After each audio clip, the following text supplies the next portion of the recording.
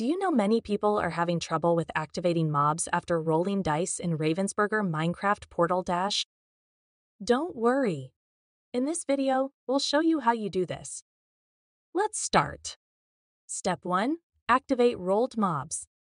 For each mob of the rolled number, target a player, move the mob, check attack range, and deal damage. Step 2. Choose activation order. Activate each mob in a chosen order, one after the other. Step 3. Remove player hearts. Remove hearts from the player's life tracker when attacked, starting with armor hearts. Step 4. Spawn new mob. If no mob matches the rolled number, spawn a new mob on the nearest unoccupied spawner space. Step 5. Wait for next turn. Newly spawned mobs are not activated immediately. They wait for the next turn.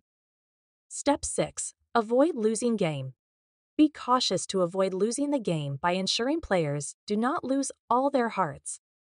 By following these steps, you should successfully activate mobs after rolling dice in the game.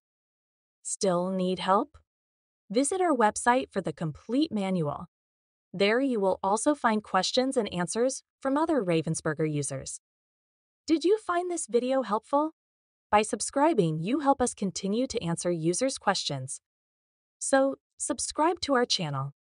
Thanks for watching, and see you in the next video.